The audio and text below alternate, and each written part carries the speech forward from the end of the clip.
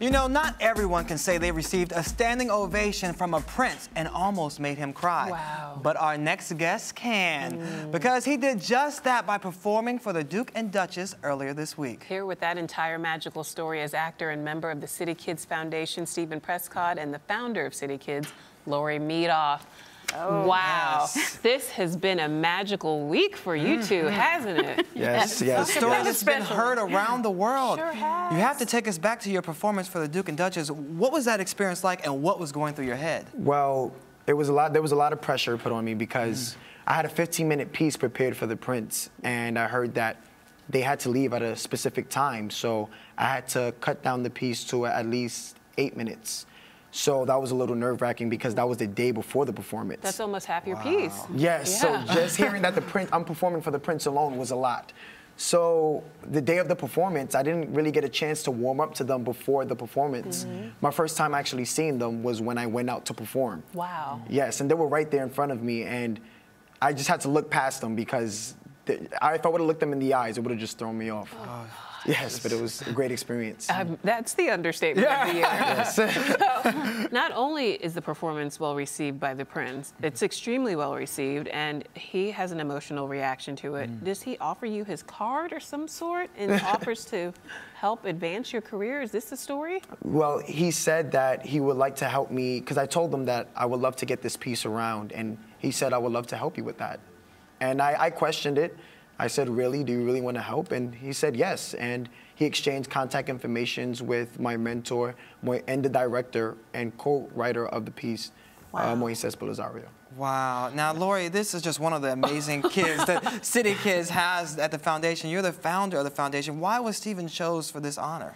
You know, um, City Kids is 30 years old, wow. and you, Mr. has been in the basement with us and know it really well. I've seen and the amazing work you all do. You know, when Jane Feldman brought yeah. you in the first time, he was doing videos, and it was just amazing. Steven is one of those grace uh, a young person full of grace and mm -hmm. authenticity and came in and started working with Mo and they put the piece uh, Brooklyn Boys together and um, we at City Kids, 30 years, uh, just had moved into a partnership with The Door.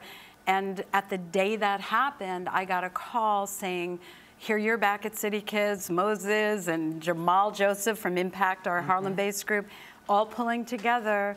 Uh, the Royals are coming. Would you like to do something. And I'm telling you, within two weeks, we had a collaboration together. But Laurie, how do you keep your wits about you when you hear the Royals yeah. are coming, the Royals are coming? Did you hang up like this is a crank call? Wait a minute. I mean, how? You know, yeah, um, what, what I think yeah. I think the thing is that City Kids Foundation is based on bringing young people together in a safe mm. space to really process and talk about their stories, the world around them, and then to take that, train them as young leaders, and we work workshop their work into the stories that they mm-hmm. bring out through music, through theater pieces.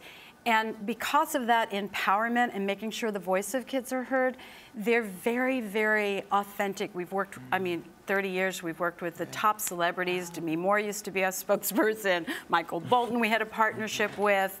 You know, uh, just so many people and also the legacy of all those, not only that have gone in to be business people, but mm-hmm. Malik Yoba and Donald Faison and all those kids have come. And I think because we're grounded in the DNA of give back. Mm-hmm. Uh, we just take it as a blessing and we stay humble. And this one, who's been around the world now, everywhere, just keeps in his humility. And that mm-hmm. has to do with the tradition of how we are. Okay, wow. so Steven, you're performing for us today, correct? Yes. Tell us a bit about the performance and then let's let you get started. Well, it's a story about a boy in Brooklyn, mm-hmm. and that boy is me and it's not just my story, it's a story for all men of color around the world. Mm -hmm. And I just felt that I need to get this piece out because I feel that I want to send a message that young men, doesn't matter which obstacles are put in front of you, you can overcome those obstacles. Because never in a million years, I thought that I'll be performing for the Duke and Duchess. Wow, well, you have, and now we'll get ready to let you perform for us as well.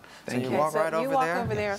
Laurie, if we want to become a part of this organization, Yeah. contribute either time, money, resources in any way, what Yeah. can we do? There's two things right now. I mean, we, we really, you know, one of the things, the world is really in trouble, and uh, especially in the United States with young people. We need city kids, and we know how to do this work with young people. We need in every city across the country. Okay. And so we are, uh, love your donations at, at citykids.com. And also, we're running an Indiegogo campaign. Fantastic. Bring Steven to Broadway and to the schools, and that's on Indiegogo. So, two ways to really help take this message out. Perfect. All right, Perfect. Steven Prescod, take it away. The cops came walking to my front yard. Let me see ID. The cop chases after me, so I ran up the stairs. I didn't know what to do. I panicked. I looked back and I saw the cop drawing his gun. I ran past my little cousin and my aunt heard the noise, so she stepped out of the bathroom. What are you doing in my house? What do you want with my nephew? He needs to come downstairs right now. No, stay away from my nephew. Steven, don't go downstairs, or they're gonna arrest you. But I didn't do nothing. No, stay away from my nephew. You don't belong here. We belong here. He needs to come downstairs right now. You wanna go to jail, son? No, stay away. Don't touch him. Don't touch him. But I didn't do nothing. Steven, if you didn't do nothing, then go downstairs now. Yes, Grandpa. I started walking down those steps. And I started thinking about every last freedom that I had left. Receive my praise, oh God. So then I stepped outside, and the cops started getting frustrated. Where'd you put it, huh? Where'd you put it? Why'd you run? Officer, I don't know what you mean. You were just chasing after me. I didn't know what to do. Oh, yeah? Well, you lucky I'm a good cop. Oh, so I could have shot you. That man could have shot me. Wow.